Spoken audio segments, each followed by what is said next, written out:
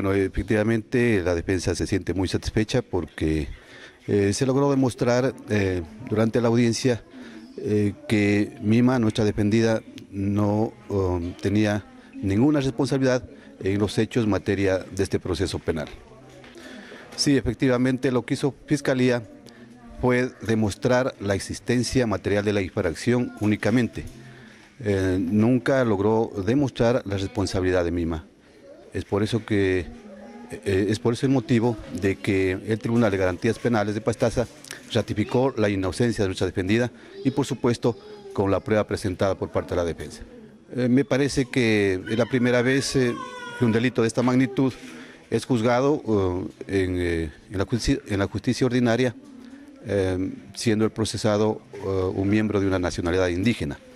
Y precisamente es lo que alegó la defensa que debería observarse los parámetros y los estándares establecidos en la Constitución y en los tratados de derecho, eh, tratados internacionales de derechos humanos.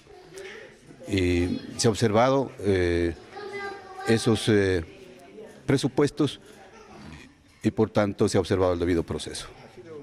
Sí, efectivamente, por la evacuación de la prueba, el día miércoles fue todo el día, hubieron muchos testigos que presentó Fiscalía igual la defensa.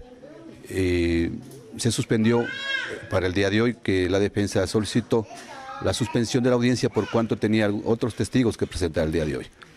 Sí, efectivamente el doctor Ácaro fue parte del equipo que eh, defendió a la procesada. Sí, efectivamente la prueba que presentó la defensa fue contundente porque en primer lugar se demostró que nuestra defendida jamás estuvo en el lugar de los hechos.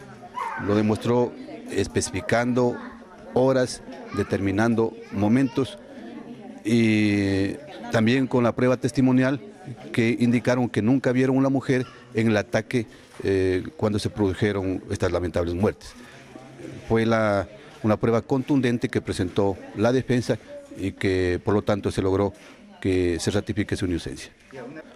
Bueno, precisamente estoy en este momento tramitando eh, su libertad tiene que extenderme la boleta constitucional de escarcelación y luego concurriré al centro de detención para eh, que le den la libertad con esa boleta de escarcelación. Mm, a lo mejor eh, hoy no, no sea posible, esperemos que mañana a primera hora se lo pueda hacer.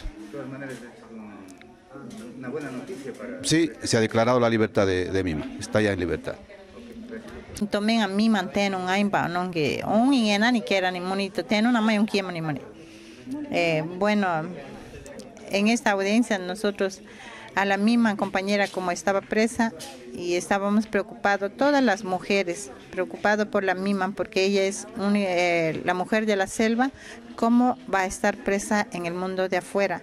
Entonces preocupamos, en esa audiencia que nos dieron, acusaron de la fiscalía diciendo que todo Mima ha matado, Mima ha, ha lanceado con lanza, y, pero en la realidad los, los, compañeros que fueron, lo que, personas que vieron el momento del ataque, la compañera Mima no estaba en ese lugar, Mima estaba dolorida en brazos de su hijo, el muerto, el niño que estaba en el brazo de su madre, y la Mima estaba en el velorio. Entonces eso le acusaron a la compañera diciendo que ella asesinó pero ella, ella no fue, ella fue una inocente.